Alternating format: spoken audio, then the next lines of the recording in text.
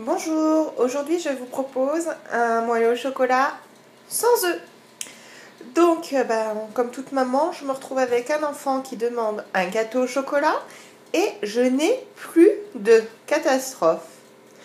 Donc, pour faire le gâteau, il vous faut 300 ml de lait, 100 g de chocolat, 50 g de sucre, il vous faut 100 g de beurre et 150 g de farine. On va commencer par mettre le beurre avec le chocolat et le faire fondre au micro-ondes. Donc dans un saladier, pendant que mon beurre est en train de fondre, je vais verser la farine et je vais la mélanger tout doucement au lait. On y va tout doucement pour éviter les grumeaux. Donc quand votre, quand votre mélange lisse, on va rajouter le sucre.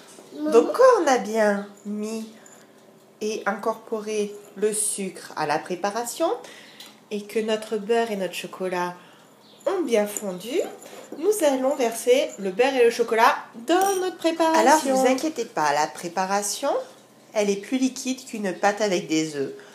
Vous allez la mettre dans un plat que vous avez beurré et mis un papier sulfurisé pour éviter les catastrophes. Vous mettez à préchauffer votre four à 180 degrés. Oui, Quand vous avez mis la pâte dans votre plat, vous allez enfourner le gâteau à 180 degrés pendant au moins 15 minutes. Après, il faut tester s'il a cuit ou pas.